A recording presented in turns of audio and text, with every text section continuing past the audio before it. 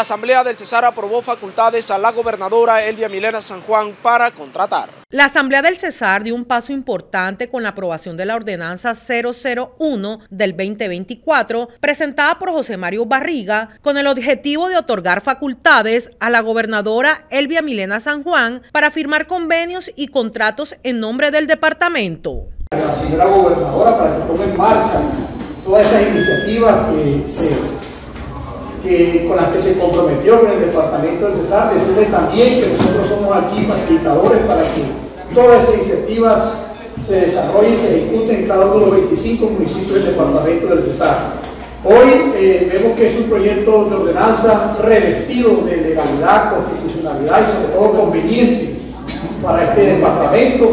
Ahí, como siempre, hacemos unas excepciones, modificamos los plazos que siempre vienen originalmente en el proyecto de ordenanza. Ustedes saben que el plazo establecido en el presente proyecto de ordenanza es hasta el 30 de junio y otra modificación que se dio fue exceptuar ese crédito, de, de esas autorizaciones, créditos, concesiones, alianzas público-privadas, vigencias futuras ordinarias y excepcionales.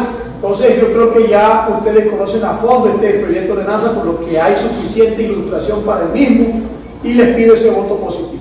La votación, que resultó unánime con 11 votos a favor, reflejó el respaldo total de los diputados a esta iniciativa de gran importancia para el desarrollo y el progreso del Cesar. Barriga, al frente de la corporación, destacó la importancia de esta medida para poner en marcha las numerosas iniciativas que la gobernadora se ha comprometido a llevar a cabo en cada uno de los 25 municipios del departamento. Enfatizando en el papel facilitador de la corporación, Barriga resaltó la legalidad y constitucionalidad de la ordenanza, asegurando que está diseñada para beneficiar al Cesar en su conjunto. Esta aprobación abre las puertas para que la gobernadora pueda ejecutar proyectos vitales en áreas como infraestructura, salud, educación, cultura y seguridad. Además de la aprobación de la ordenanza, la sesión también sirvió como plataforma para la presentación de los secretarios del departamento, quienes expusieron sus planes de acciones y se comprometieron a trabajar en colaboración con los diputados para el beneficio de la comunidad cesarense. El ICBC es una institución que marca la diferencia.